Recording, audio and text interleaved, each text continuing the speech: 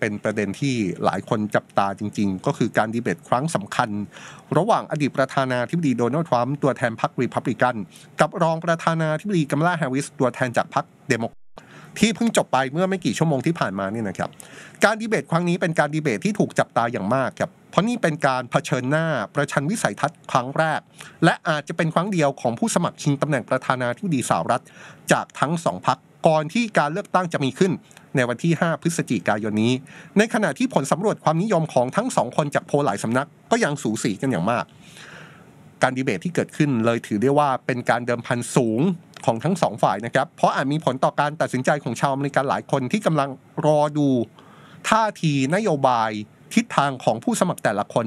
เพื่อตัดสินใจว่าการเลือกตั้งในเดือนพฤศจิกายนนี้ จะเลือกใครเป็นผู้นำสหรัฐคนต่อไป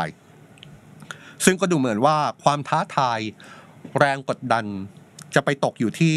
รองประธานาธิบดีแฮร์ริสค่อนข้างมากนะครับ เพราะต้องไม่ลืมว่านี่เป็นการดีเบตครั้งแรกของเธอในฐานะผู้สมัคร ชิงตำแหน่งประธานาธิบดีที่มาพร้อมกับการถูกจับตา ว่าเธอจะสามารถดึงเสียงสนับสนุนพรรคเดโมแครตกลับมาได้หรือไม่ หลังจากที่การดีเบตของประธานาธิบดีไบเดนเมื่อปลายเดือนมิถุนายนที่ผ่านมาถูกมองว่าล้มเหลว จนทำให้ประธานาธิบดีไบเดนถูกตั้งคำถามมากมาย และสุดท้ายก็ลงเอยด้วยการถอนตัวออกจากเป็นตัวแทนของพรรคเดโมแครตเปิดทางให้กัมลาแฮร์ริสขึ้นมาชิงตำแหน่งประธานาธิบดีแทน ซึ่งก็ต้องยอมรับนะครับว่า การถอนตัวกลางคันและการเข้ามารับหน้าที่กลางทางแบบนี้ ก็สร้างความยากลำบากพอสมควรให้กับรองประธานาธิบดีแฮร์ริสเหมือนกัน เพราะอย่างที่เห็นครับเธอไม่ใช่คนที่ถูกวางตัวว่าจะเป็นผู้ชิงตำแหน่งประธานาธิบดีสหรัฐมาตั้งแต่แรกนะครับ และในช่วงเกือบ 4 ปีที่ผ่านมาก็ต้องยอมรับว่าแม้แต่ชาวอเมริกันเองก็ไม่ได้รู้จักกับตัวของกัมลาแฮร์ริสมากขนาดนั้นคำถามในตอนนี้ก็เลยกลายเป็นว่าการประชันวิสัยทัศน์ในครั้งนี้โจทย์ของรองประธานาธิบดีแฮร์ริสนอกจากจะต้องต่อสู้ฝ่าฟันกับเสียงวิจารณ์ข้อโต้แย้งของคู่แข่งอย่างโดนัลด์ทรัมป์แล้วเนี่ย เธอจะต้องทำยังไงก็ได้ ให้คนอเมริกันรู้จักตัวเธอมากขึ้น หลังจากในช่วงเกือบ 4 ปีที่ผ่านมา คนอเมริกันไม่ค่อยรู้จักตัวเธอเท่าไหร่นัก เพราะว่าเธอไม่ถูกวางตัว ว่าจะเป็นผู้ชิงตำแหน่งประธานาธิบดีสหรัฐมาตั้งแต่แรก และอย่างที่บอกนะครับ นี่เป็นการต่อสู้นอกจากเป้าหมาย เพื่อให้คนอเมริกันรู้จักกัมลาแฮร์ริสมากขึ้น ยังเป็นการต่อสู้กับคู่ดีเบต อย่างอดีตประธานาธิบดีทรัมป์ผู้ที่ขึ้นชื่อว่าชอบใช้กลยุทธ์ป่วนเวทีทำลายสมาธิฝั่งตรงข้ามอย่างที่เขาเคยทำเมื่อครั้งดีเบตกับฮิลลารีคลินตันเมื่อครั้งดีเบตกับโจไบเดนเราก็เห็นภาพมาแล้ว เวทีดีเบต เมื่อเช้านี้ตามเวลาประเทศไทยเนี่ยจึงเป็นเวทีพิสูจน์ความสามารถของรองประธานาธิบดีแฮร์ริสอย่างแท้จริง ซึ่งเธอก็ทำได้ดีทีเดียวนะครับ จากเสียงตอบรับหลังดีเบตจบ ปรากฏว่าหลายคนลงความเห็นบอกว่ารองประธานาธิบดีแฮร์ริสทำได้ดีครับ หลายคนบอกว่าเธอแสดงให้เห็นว่าเธอเตรียมตัวมาอย่างดี สามารถดึงจุดอ่อนของอดีตประธานาธิบดีทรัมป์ที่มักจะควบคุมตัวเองไม่ได้ มาสร้างความได้เปรียบให้กับตัวเอง โดยรองประธานาธิบดีแฮร์ริสใช้วิธี พูดยั่วยุอดีตประธานาธิบดีทรัมป์ให้เขาอารมณ์เสียอยู่หลายครั้ง อย่างครั้งหนึ่งเธอพูดถึงการเลือกตั้งครั้งล่าสุดที่อดีตประธานาธิบดีทรัมป์พ่ายแพ้ให้กับประธานาธิบดีไบเดน เธอบอกว่าอดีตประธานาธิบดีทรัมป์ถูกชาวอเมริกัน 81 ล้านคน ไล่ออกจากตำแหน่งเพราะคนเหล่านี้เลือกไบเดนมาเป็นประธานาธิบดีแทนเขาทำให้อดีตประธานาธิบดีทรัมป์ตอบโต้ด้วย สีหน้าท่าทางที่ดูมีอารมณ์ทันทีนะครับบอกว่าเขาไม่ได้แพ้นะ แต่เป็นเพราะเกิดการโกงการเลือกตั้งต่างหากจุดที่น่าสนใจอีกเรื่องคือปฏิกิริยาของรองประธานาธิบดีแฮร์ริสบนเวทีดีเบต ที่ถูกตั้งข้อสังเกตว่าเธอแสดงออกต่างออกไป จากประธานาธิบดีไบเดนในการดีเบตครั้งก่อนนะครับ ถ้าย้อนกลับไปตอนประธานาธิบดีไบเดนในการประชันวิสัยทัศน์รอบก่อนนั้น หลายคนจับสังเกต สีหน้าท่าทางท่าทีของประธานาธิบดีไบเดนว่ามีทั้งความกังวล ลังเล สับสน ตอบไม่ตอบไม่ตรงคำถาม บางครั้งก็นิ่งไปดื้อเลย เนี่ยแหละครับคือเป็นจุดตายที่ทำให้ประธานาธิบดีไบเดนถูกวิจารณ์ในการไปชันวิสัยทัศน์ครั้งที่แล้วแล้วก็นำไปสู่การถอนตัวในที่สุดว่าประธานาธิบดีไบเดนที่สะท้อนออกมาผ่านการประชันวิสัยทัศน์รอบที่แล้วนั้น ตกลงแล้วยังมีสภาพร่างกายและสภาพจิตใจ ที่พร้อมจะเป็นผู้นำสหรัฐไปอีก 4 ปีหรือเปล่า แต่แตกต่างกับรองประธานาธิบดีแฮร์ริสในวันนี้นะครับ ดูเหมือนว่าจะทำให้พรรคเดโมแครตฝ่ายเดียวกับเธอเนี่ยลบข้อกังขาที่เกิดขึ้นในใจในช่วงที่ผ่านมาได้ครับเธอใช้ภาษากาย แสดงออกทางสีหน้าเผชิญหน้ากับอดีตประธานาธิบดีทรัมป์อยู่หลายครั้งบนเวที แสดงให้เห็นว่าเธอรู้สึกว่าอดีตประธานาธิบดีทรัมป์พูดเรื่องไร้สาระ หรือว่าขบขันบางช่วงก็หันไปยั่วยุ อดีตประธานาธิบดีทรัมป์ ตรงๆเลย อย่างในช่วงหนึ่งระหว่างการดีเบตเนี่ยเธอหันไปมองหน้าอดีตประธานาธิบดีทรัมป์และบอกกับเขาว่าเธอเคยไปพูดคุยกับผู้นำต่างประเทศ ที่กำลังหัวเราะเยาะโดนัลด์ทรัมป์มาแล้ว และเคยคุยกับบรรดาผู้นำกองทัพหลายประเทศด้วย ซึ่งพวกเขาต่างบอกว่าคุณเป็นความอัปยศนอกจากนี้ยังมีประเด็นน่าสนใจอีกหลายเรื่องบนเวที ดีเบตในวันนี้นะครับ เดี๋ยวเราจะค่อยๆ สรุปให้ฟัง อย่างประเด็นแรกก็คือมีการตั้งข้อสังเกต ว่าอดีตประธานาธิบดีทรัมป์พูดถึงข้อมูลที่ไม่เป็นเรื่องจริงหลายเรื่องในระหว่างการดีเบตกับ CNN ระบุในรายงานบอกว่า ให้นับเนี่ยกว่าชั่วโมงครึ่งเนี่ยนับ แล้วพบว่าอดีตประธานาธิบดีทรัมป์อ้างข้อมูลที่เป็นเท็จมากกว่า 30 ครั้งครับ ซึ่งเอาเข้าจริงก็ต้องบอกว่าไม่ใช่เรื่องแปลกสำหรับอดีตประธานาธิบดีทรัมป์นะครับ เพราะว่าก่อนหน้านี้เขาก็เคยทำแบบนี้มาแล้ว อย่างตอนที่ดีเบตกับประธานาธิบดีไบเดนอดีตประธานาธิบดีทรัมป์ก็ยกข้อมูลที่ไม่เป็นจริง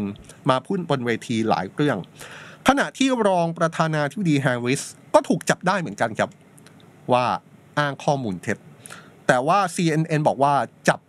รองประธานาธิบดีแฮร์ริสได้เรื่องเดียว ที่บอกว่าเป็นความบกพร่องของข้อมูลที่รองประธานาธิบดีแฮร์ริสพูดในวันนี้ ไม่ใช่ว่าเป็นเรื่องที่ไม่จริง เพียงแต่ว่ามีบางเรื่องที่อาจทำให้เกิดความเข้าใจผิด หรือว่าขาดบริบทที่สำคัญไป ยกตัวอย่างก็อย่างเช่น เรื่องที่รองประธานาธิบดีแฮร์ริสพูดโจมตีแผนการขึ้นภาษี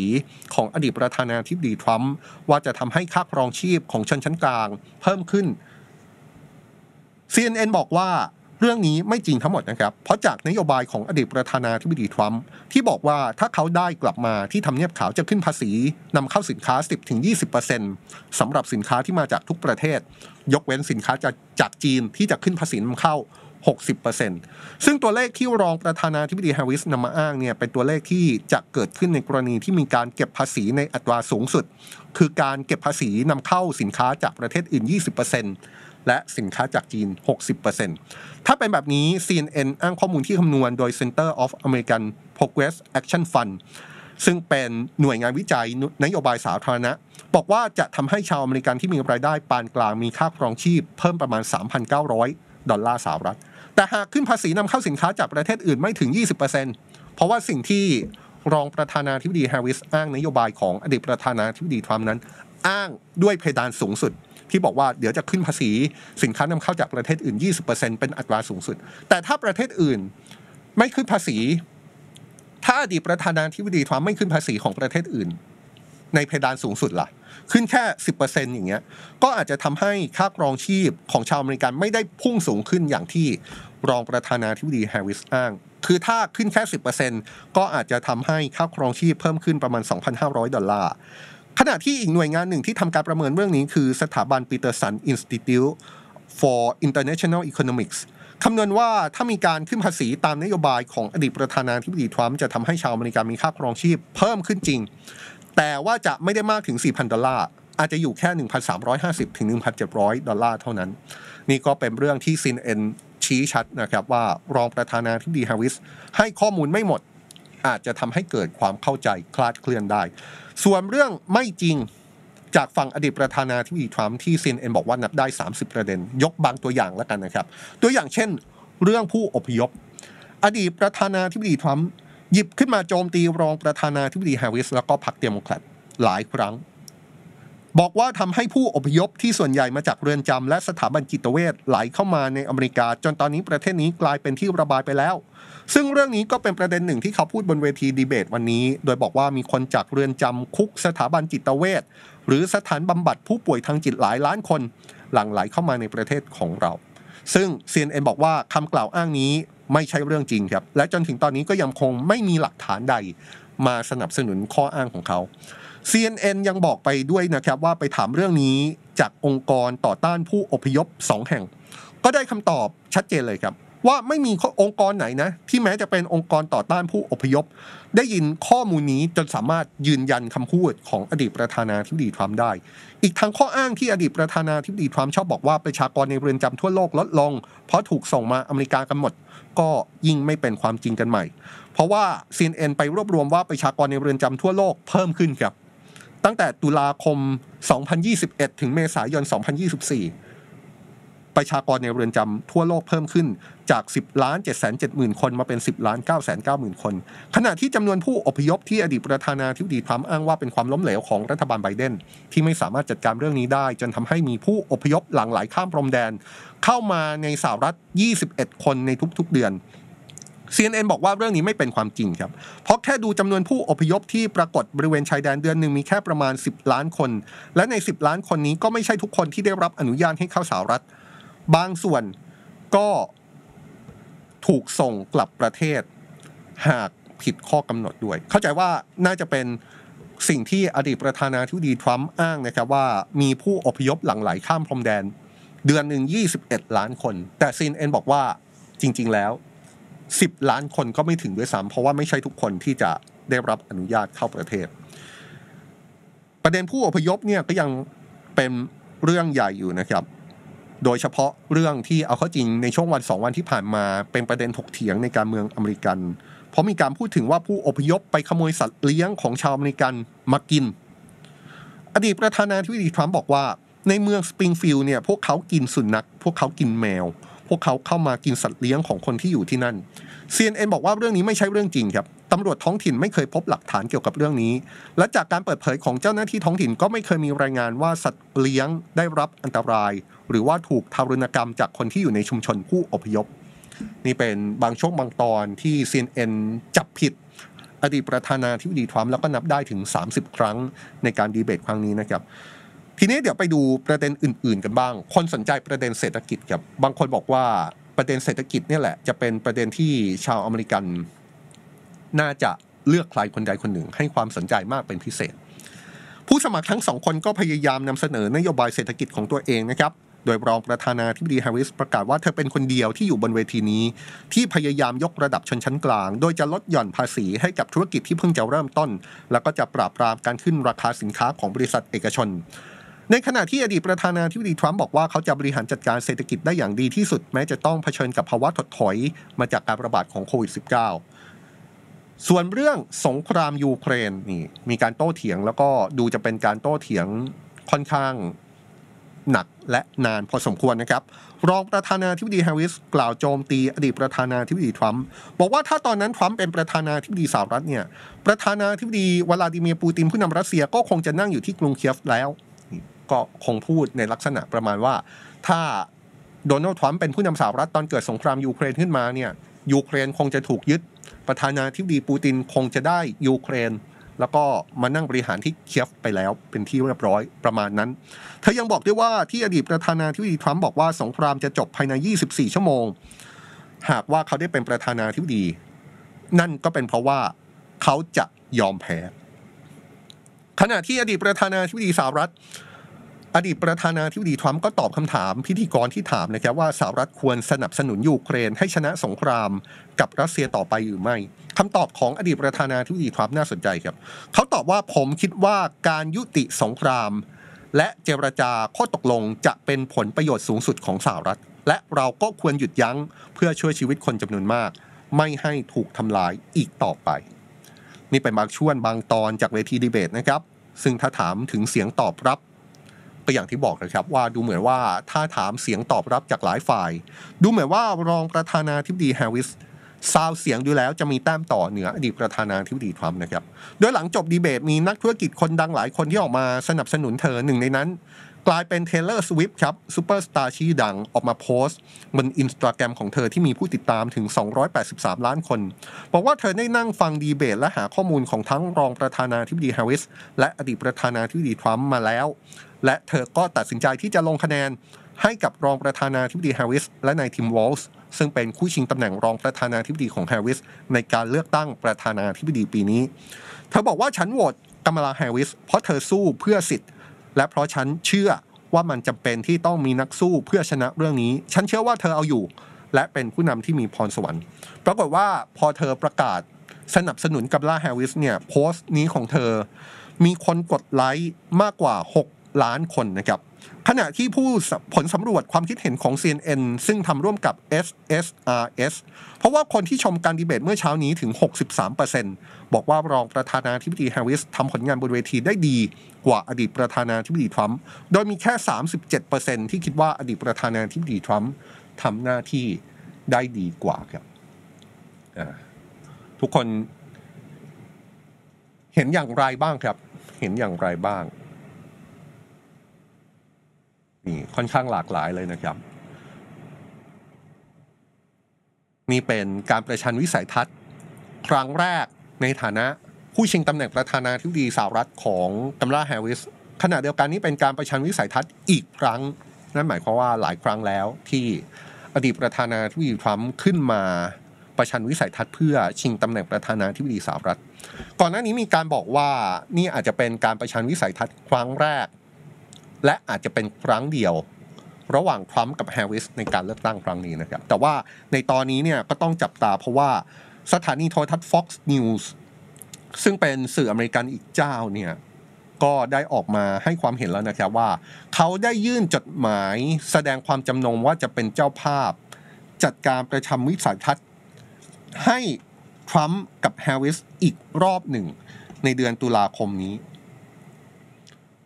โดยทีมหาเสียงของรองประธานาธิบดีฮร์ริสก็ออกมาแสดงท่าทีในลักษณะที่ว่ารองประธานาธิบดีฮร์ริสเอง ก็พร้อมที่จะประชันวิสัยทัศน์กับอดีตประธานาธิบดีทรัมป์อีกรอบ ขณะเดียวกันประธานาธิบดีทรัมป์ก็ดูเหมือนจะยังไม่ตอบรับหรือปฏิเสธเรื่องนี้ที่ชัดเจนนะครับ มีความเคลื่อนไหวหนึ่งหลังการประชันวิสัยทัศน์ความยาวกว่าหนึ่งชั่วโมงครึ่ง ที่ ทรัมป์กับแฮร์ริสประชันวิสัยทัศน์กันเนี่ยนะครับปรากฏว่าอดีตประธานาธิบดีทรัมป์หลังประชันวิสัยทัศน์จบได้เซอร์ไพรส์ด้วยการไปที่ห้องทำข่าว ที่เรียกกันว่าห้อง spin room ที่มีนักข่าวมีแหล่งข่าวของทั้งฝ่ายเดโมแครตรีพับลิกันรอทำข่าวอยู่ที่นั่น ไปปรากฏตัวต่อหน้านักข่าวเลยครับ แล้วก็มีคำถามเกิดขึ้นมากมาย พูดถึงกัมลาแฮร์ริสพูดถึง ผู้ดำเนินรายการบนเวทีว่าไม่แฟร์ในลักษณะนี้เป็นต้นนะครับ แต่ว่าการปรากฏตัวของอดีตประธานาธิบดีทรัมป์นั้น ถูกมองว่าเป็นการปรากฏตัวเพื่อจะกลบกระแสวิพากษ์วิจารณ์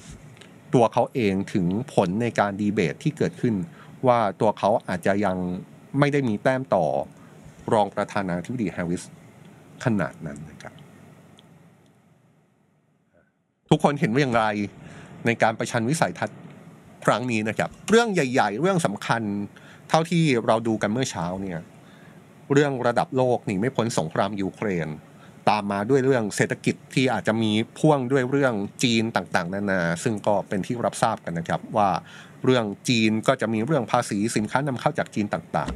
ๆ ขณะเดียวกันก็มีเรื่องในประเทศอย่างสิทธิ์ในการทำแท้งของผู้หญิง หรือเรื่องการเมืองที่เป็นการเมืองในอเมริกัน การโจมตีกันไปมาว่าเออดีตประธานาธิบดีทรัมป์ก็บอกว่าเอแล้วสามปีครึ่งที่คุณดำรงตำแหน่งคุณทำอะไรอยู่ทำไมนโยบายของคุณดูเหมือนจะมีการเปลี่ยนแปลงมากมาย แสดงว่าที่ผ่านมาไม่ได้ผลหรือไม่ รองประธานาธิบดีแฮร์ริสก็โจมตี อดีตประธานาธิบดีทรัมป์เหมือนกันนะครับ นี่ จังหวะนี้ก็น่าสนใจนะครับ เป็นจังหวะที่ผู้ดำเนินรายการ เปิดเวทีแล้วก็เชิญทั้งสองคนขึ้นมา ดูจากภาพนี้เห็นไหมครับ รองประธานาธิบดีแฮร์ริสเดินไปหาอดีตประธานาธิบดีทรัมป์แล้วก็จับมือ ขณะที่หลายคนก็มองว่า เอ๊ะท่าทีสีหน้าของประธานาธิบดีทรัมป์ดูลังเลนะอ่าตอนแรกดูจะเหมือนเดินไปที่โพเดียมเลย แต่สุดท้ายก็เดินมาจับมือด้วยกัน ก็เป็นอีกหนึ่งจังหวะที่เป็นจังหวะที่ถูกจับตาตั้งแต่เริ่มต้นครับ ทุกคนคิดว่าอย่างไรครับเรามีโพทำโพกันนะครับ บอกว่าตกลงแล้ว ทุกคนที่ดูเราอยู่เนี่ยมองว่าอย่างไรบ้าง ให้ทรัมป์17%แฮร์ริส74%ไม่มีใครทำได้ดีเลย8%อ่าคนโหวตเกือบ 300โหวตนะครับ ค่อนข้างมากเลย ชวนคุยกันอย่างนี้ครับ ชวนคุยกันอย่างนี้ว่า